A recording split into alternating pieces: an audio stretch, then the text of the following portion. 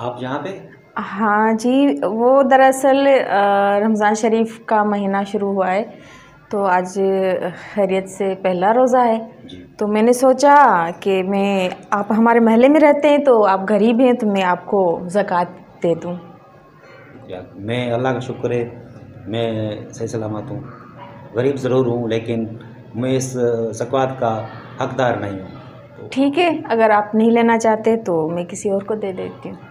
नहीं, आपका बहुत शुक्रिया। आप किसी और को दे दें, जो नाबीन हो ज़कात, भले दें कि सबको दें, लेकिन जो इसका हकदार है, उसको ज़कात दें। जो अपाहिज है, नाबीन है, बेचारे खाने में नहीं है जिसके फैमिली बड़ी है, एक कमाने वाला, इनके घर में एक कमाने वाला है, आप उनको ज़कात दें।